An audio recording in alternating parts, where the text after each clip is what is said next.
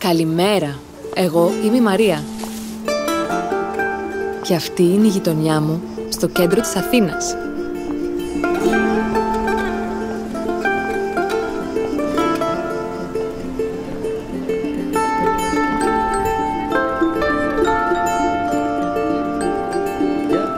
Εδώ με ξέρουν με το όνομά μου και εγώ ξέρω με το όνομά της κάθε σπιθαμί αυτής της γειτονιάς, κάθε στενό, κάθε γωνιά. Εδώ είναι δύσκολο να χάσεις τον δρόμο σου. Αν τον χάσεις όμως, μην τραπείς να ρωτήσεις.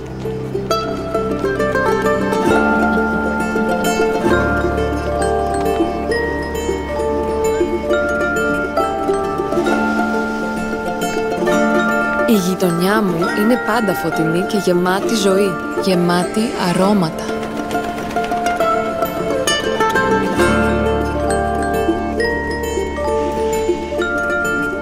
Γεμάτη θησαυρούς. Γεμάτη εκπλήξεις.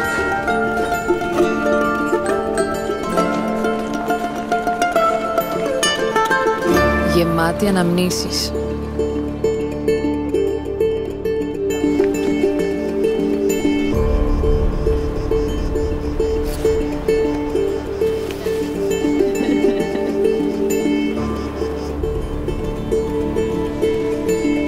Και όσες φορές κι αν την περπατήσω, πάντα μου προσφέρει το καλύτερό της.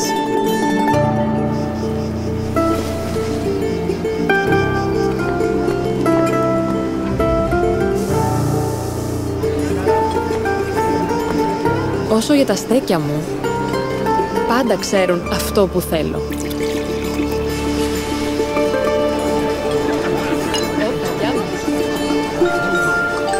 Και συνήθως τα θέλω όλα.